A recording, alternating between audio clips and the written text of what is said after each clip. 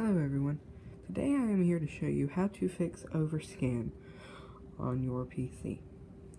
So what I did is I brought my PC into my living room and I wanted to hook it up to my TV because I wanted to play something on it that I could get on my computer. And I wanted to play it on the TV so my whole family could watch. Well, it hooked up and everything using an HDMI to an HDMI and it wasn't working and I didn't understand. And you can see that the corners are cut off here up here and even down here. You can barely even see the time slot there. And I had no idea how to fix this. Well a simple fix that I feel I overlooked. So you're going to be needing two cords. You are going to be needing an aux cord, which is this cord right here.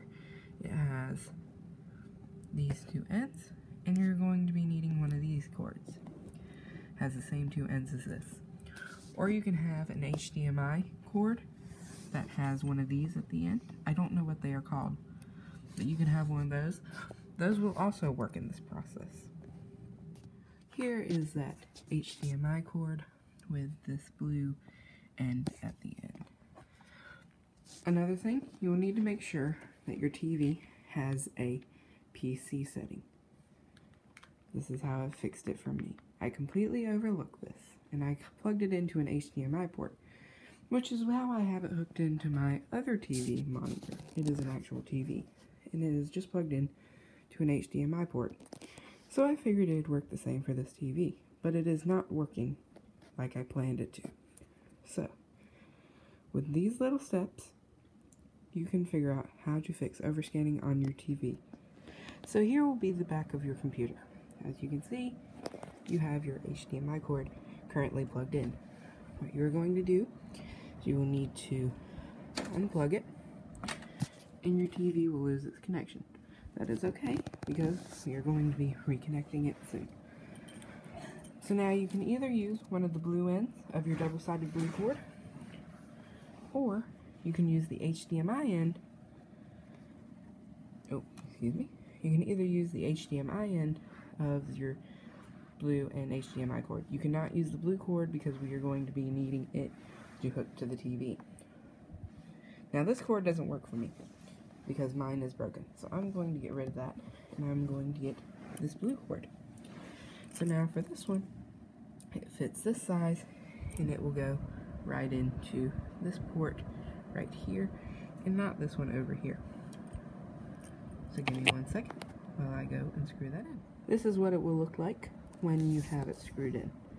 Now if you have pulled out your PC box here do not put it back yet because you are going to need to get into the back of it again to hook up the aux cord into it.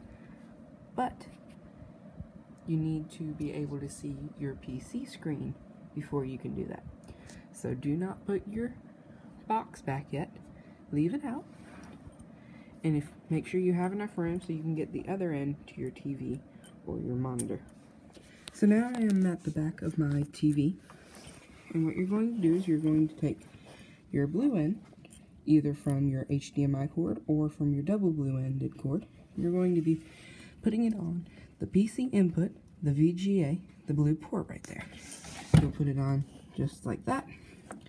I'll be right back once I get it screwed on there.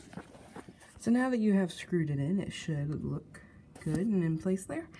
Now these little blue prongs here, you're going to make sure they're hand tightened pretty good. Because if they aren't, it's your TV. It's not going to show right on your TV or monitor. So you need to make sure they're tightened here and on your PC if you did use that type of cord. So now, when you go back to your TV, you're going to have to change your sources on your TV. On your remote, you go there, and you scroll down to PC, and everything should be looking fine. And you should no longer have the oversizing issue, overscanning, excuse me. Everything should look fine. But now, if you haven't noticed, you have no sound. Now for my TV, this is where you have to plug in the aux cord. Some of you may not have to, but if you do, please stick around and I will show you how to connect your sound. Okay, so now we are back here. We have brought our light back over, and now we have our aux cord. So now you can plug it into any one of these three, and when you do, you should get a message. You're plugging these into any of these to be your, uh, to transfer your audio from your TV to your uh, computer, or your computer box to output in your TV. So what you need to do is, if you want a microphone, I would suggest keeping, not using uh, this red one or this blue one because it is the area where you can select a microphone. This green one, you only select the headphone option. And I will show you here what I'm talking about. So you need to select the headphone option for it to work.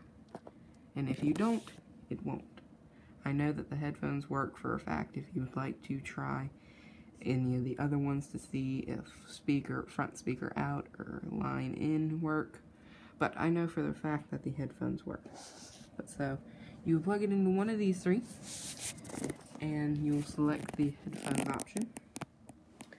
And so there's my mouse. So you select that, select OK. You now have audio an audio source.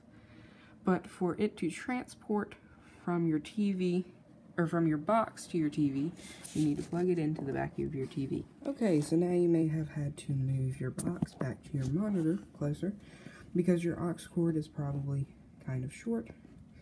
So you need to move it back in so your aux cord will reach. And what you're going to be doing is plugging your aux cord in. For me, it is right above my blue cord here in the audio in slot.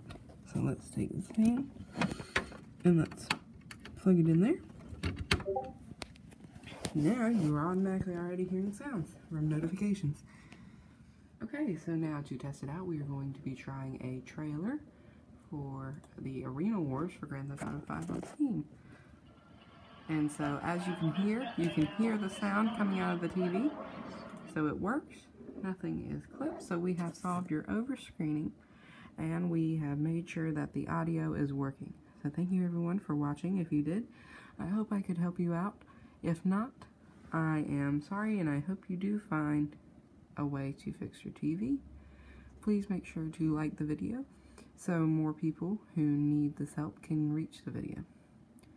Thank you, and I will see you in the next video.